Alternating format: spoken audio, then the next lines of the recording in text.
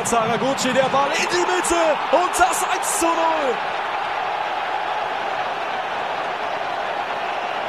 Und es ist so eine Traumgeschichte. Es ist ein Märchen. Grisha Brömel, 15 Minuten. Union geht in Führung.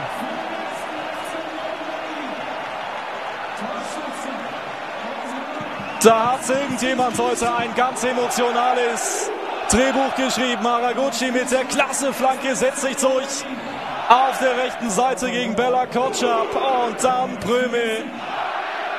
Hier kommt die Szene. Strafbares Handspiel, ja oder nein? Hand geht klar raus von Tesche. Das Handspiel und Taivo Avoni mit der Chance, noch verhältnismäßig früh, nach 24 Minuten auf 2 zu 0 zu stellen. Saivo Avoni gegen Michael Esser. Avoni macht ihn rein. 2 zu 0 Union. Nummer 14 in dieser Saison für den nigerianischen Superman da vorne drin. Wie so häufig in dieser Saison fehlt es nicht an viel.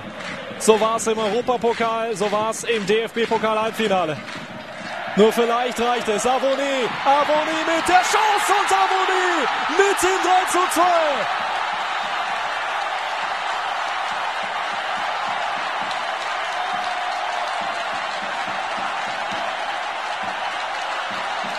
Verwerft eure Reiseplanungen.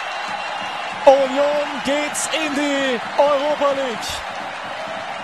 Langer Ball von Christopher Trimmel. Dann viel Chaos, viel Zover. Einer, der behält die Übersicht. Das ist Saivo Aboni. Das ist der Unioner Roadrunner und Top-Torschütze. Und der legt ihn vorbei an Michael Esser hinein zum 3 zu 2.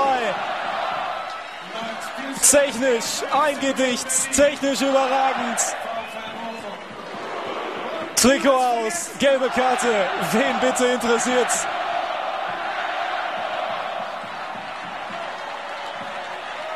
Raus das Ding, weg damit und dann das Ticket sichern für die UEFA Europa League. Der erste FC Union Berlin schreibt Geschichte, schreibt Geschichte erneut.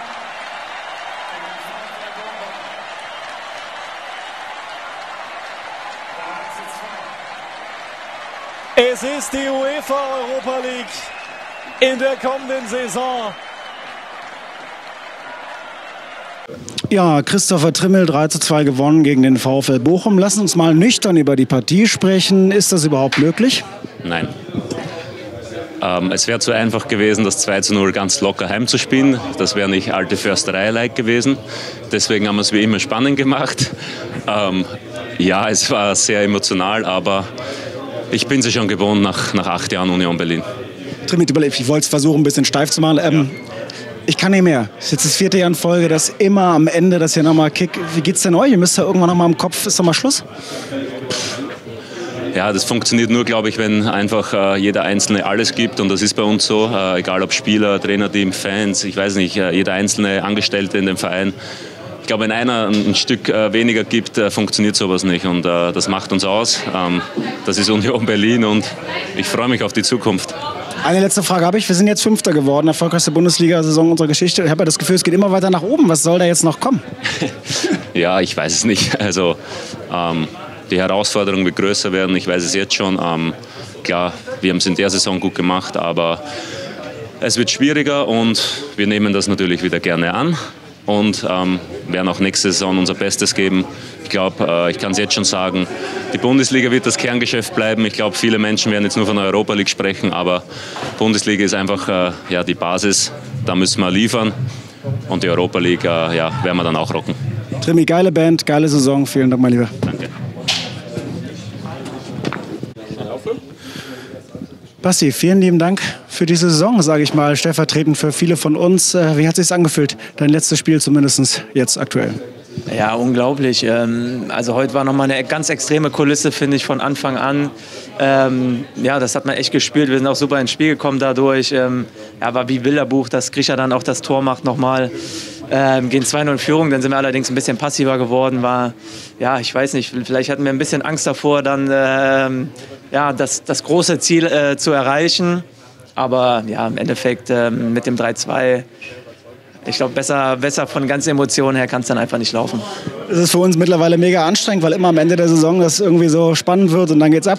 Hast du denn schon ein bisschen was gehört, was hier so nach der Saison, wenn sowas passiert, wenn wir so feiern, was hier passiert? Haben die Jungs sich so ein bisschen vorbereitet, was jetzt heute noch kommt? Ich lasse mich einfach überraschen. Ich weiß, eine Frage muss ich dir leider stellen. Also mich interessiert vor allem, wie geht's denn weiter mit dir? Wir feiern heute Abend erstmal und äh, ich denke mal auch kräftigst.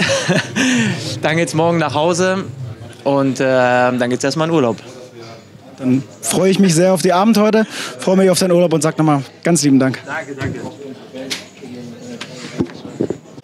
Jakob, ich möchte auch dir vielen, vielen Dank sagen für deine Zeit, die du hier hattest äh, und möchte dir einfach die Gelegenheit geben, auch noch was zu sagen an die Menschen da draußen und die Union-Fans. Schwer, was zu sagen. Äh, es waren sechs, sechseinhalb Jahre, tolle Jahre. Äh, wir haben viel, viel erlebt. Äh, ja, zum Glück richtig, richtig viele gute, gute Sachen. Äh, jetzt mit der fünften Platz ist natürlich nochmal Wahnsinn, was, was, was wir wieder hier geleistet haben. Äh, ja, ich möchte einfach Danke sagen. Ähm, ja, es ist ein schwerer Tag heute. Kannst du ihn trotzdem so genießen mit den Jungs jetzt nochmal schön feiern? Irgendwie den Abschluss nochmal genießen? Ja, so gut wie es geht halt. Das ist, äh, auf die eine Seite ist es toll, wir können, wir können hier was feiern. Das werden wir auch machen, aber auf die andere Seite ist es auch ein Kapitel, es geht leider zu Ende. Ich kann dir sagen, ich freue mich immer wieder, wenn du herkommst und möchte nochmal vielen, vielen Dank sagen für deine Zeit, die du hier bei uns erlebt hast. Dankeschön. So ist gut, so ist gut, ja. Perfekt, perfekt. Liebe Grüße an Berliner Pilsen. Ähm, Berliner Pilsener, mein bester Freund heute Abend. Krischer, als du das Tor geschossen hast, habe ich so gedacht, okay, das ist jetzt zu viel. Das ist jetzt zu viel, das ist zu viel Kitsch. Was hast du gedacht? Das ist nicht zu viel, ich will ein zweites. Nein, natürlich. Hätte kaum schöner sein können. Ähm, äh, danke an alle Unioner, die heute da waren und an alle Unioner, die vorm Fernseher saßen und an alle Unioner, die es überhaupt gibt. Äh, ja, für die letzten fünf Jahre. Das war eine unfassbare Reise. Hat mir so viel Spaß gemacht. Äh, hätte ich niemals für möglich gehalten, dass, dass wir irgendwann Europa League spielen. Damals, als ich in der zweiten Liga unterschrieben habe. Von dem her, geil, dass ich ein Tor gemacht habe. Geil, dass Taiwo 2 gemacht hat. Geil, dass wir heute ein Spiel gewonnen haben. Und Berliner Pilsner, geil für meinen besten Freund. Ja, Grisha, ich hätte jetzt noch die Frage gestellt, was du noch an die Fans sagst. Das hast du jetzt mir jetzt quasi schon abgenommen. Ähm, was wünschst du dir für heute Abend? Dass die Fans einen schönen Abend haben. Nee, dass gefeiert wird. Äh, Union zum zweiten Mal in Folge international, das ist wirklich geisteskrank. Ähm, ja, das hat sich der Verein einfach verdient, weil einfach gut gearbeitet wird, weil es Spaß macht, weil Union Berlin so geschlossen ist wie. Wie was? Wie die. Äh, wie der Tresor vom Bresi. Nein, also Union ist äh, sehr gut funktionierend. Der ganze Verein denkt in eine Richtung. Äh, deswegen sind, äh, sind wir als Mannschaft äh, zu so großem äh, äh, fähig. Und ja, hat sich jeder einzelne Unioner hier verdient.